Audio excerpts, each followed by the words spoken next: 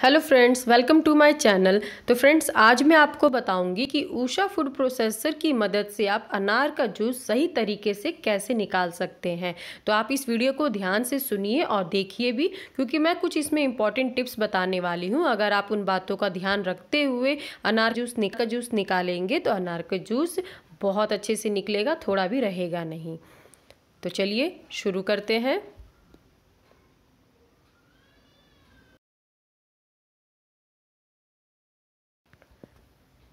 तो यहाँ पे मिक्सर ले लिया है मैंने तो सबसे पहले ऊपर का कवर हटा लेंगे और ये जो ब्लेंडर है, इसे हमें बीच में प्लेस कर देना है और ऊपर का लॉक कर देना है ढक्कन लगा के। और साथ ही साथ सेफ्टी कवर को भी लॉक कर देना है। अगर आप इसे नहीं लगाएँगे, तब तक दूसरा वाला काम नहीं करेगा। तो सेफ्टी लॉक भी मैंने कर दिया है। यहाँ पे सब कुछ अच्छे से हो गया है। इधर मैंने तीन अनार के दाने निकाल लिए हैं और इसी का हम जूस निकालेंगे। तो यहाँ पे हमें एक ही बार में सारे नहीं डालने हैं थोड़े थोड़े स्लॉट में हम इसे डालेंगे। तो यहाँ पे मैंने स्पीड भी स्टार्टिंग वाला कर दिया है एक स्पीड पे और यहाँ पे मैं थोड़ा थोड़ा अनार के दाने डाल रही हूँ। आप देख सकते हैं कैसे अनार का जूस निकल रहा है। यहाँ पे हम धीरे धीरे डालते रहेंगे। तो यहाँ पे मैं दो तीन स्लॉट में डाल रही हूँ। तो ये लास्ट है।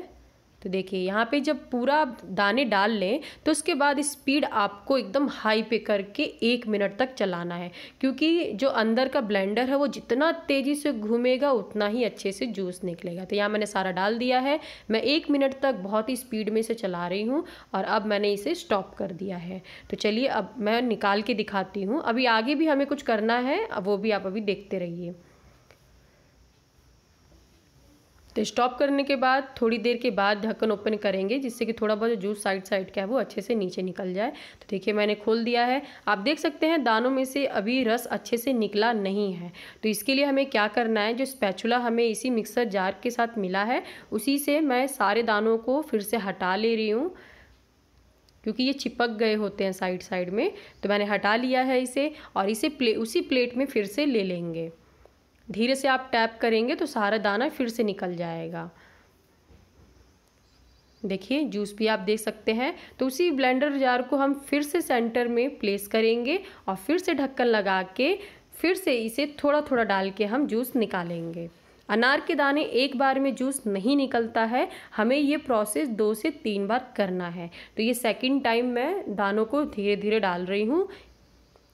ये देखिए, दूसरी बार में डालने पे भी जो जूस है वो निकल रहा है।